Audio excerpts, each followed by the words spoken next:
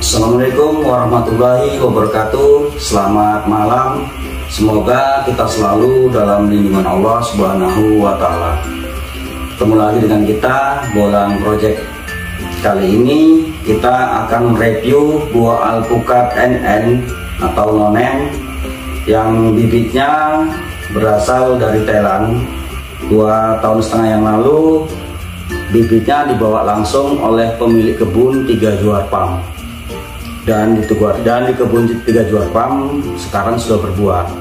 Tiga juar pam di elevasi 270 mdpl alpukat ini tergolong gejah karena sudah kita coba sudah kita coba TW dari titik TW kira-kira 80 cm uh, dan sudah berbuah. Buahnya cukup lumayan ya nanti kita sama-sama kita lihat Kawan-kawan, ini hasil TW kita ya. Nah, dari titik TW kira-kira 80 cm ya. Dan kebetulan ikatannya ini belum kita buka ya. Belum kita buka, kita takut nanti lepas ya. Karena ini buahnya cukup lumayan banyak ya. Nah, ini sampai atas-atas ini ya. Ini buah semua ya. Nah ini yang ini juga besar ya. Nah, dan tampilan buah ini ini menarik ya mempunyai ciri khas ya. Uh, tangkinya ini agak ke samping ya dan buahnya ini agak bengkok ya. Uh, semua seperti itu ya. Nah ini juga ya. Hmm, tampilannya cantik ya mulus ya buahnya cukup banyak ya. Jadi buat kawan-kawan yang ingin menambah koleksi jenis ini bisa menjadi pilihan alternatif ya. Apalagi untuk dataran rendah ya. Karena di tempat kita ini di elevasi 24 mdpl oke kawan-kawan. Buah ini dipetik tiga hari yang lalu ya. Nah, dan sekarang sudah masak nah, kita timbang alpukat ini ya. Ya dari nol ya. Hmm, lima, uh, bobot buah. Alpukat ini 597 gram.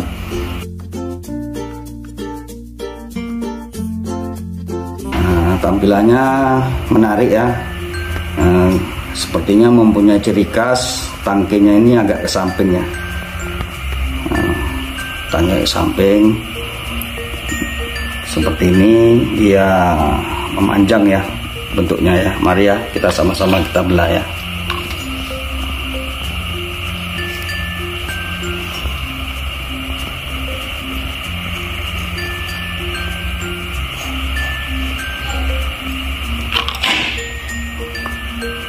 Tampilan dalam menarik ya teman-teman ya.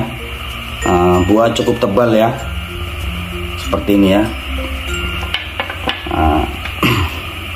biji kita timbang ya. Biji 65 gram ya. Biji 65 gram. Ya, seperti ini ya tampilan dalam. Warnanya cukup cantik ya. Daging juga cukup tebal ya. Mari kita coba ya. Kita coba ya rasanya ya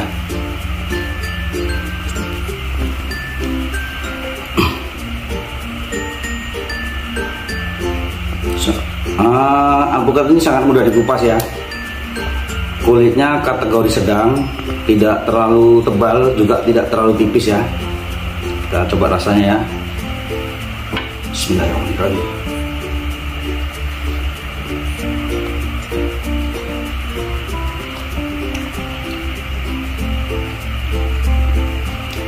Alpukat ini lemak ya. Lemak hmm, gurih.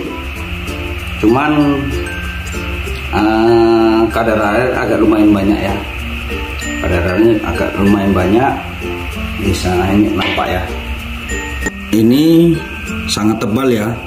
Warnanya betul-betul cantik ya. Uh, tapi ya itu tadi kadar air agak lumayan ya.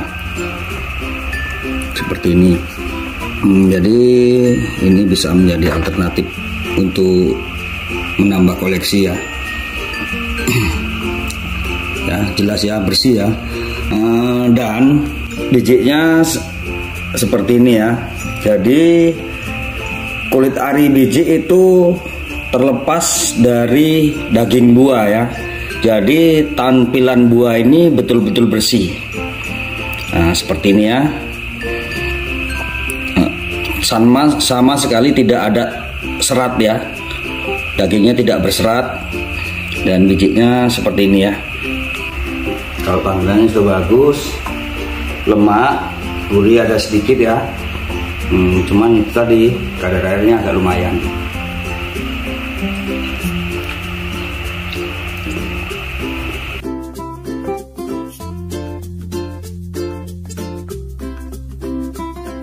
Demikianlah sudah kita review alpukat ini bagi kawan-kawan yang ingin menambah koleksi alpukat ini bisa menjadi pilihan alternatif. Karena alpukat ini tergolong genja dan tampilannya sangat menarik ya. Tampilannya sangat bagus. Kawan bolang jangan lupa like, komen, dan subscribe. Terima kasih Wassalamualaikum warahmatullahi wabarakatuh